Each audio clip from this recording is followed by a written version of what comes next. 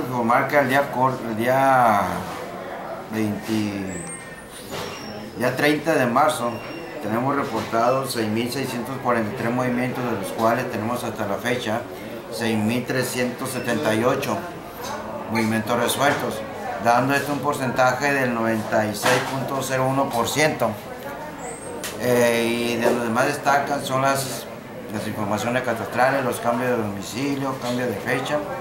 Y esto da, más un, da un avance bueno del trabajo que está realizando aquí en la oficina y donde se ha- nos estamos esmerando por darle un resultado pronto al ciudadano que viene y solicita los servicios de esta institución. ¿Hasta qué fecha es el trabajo? ¿Lo repetimos? Hasta el día 30 de marzo del año curso.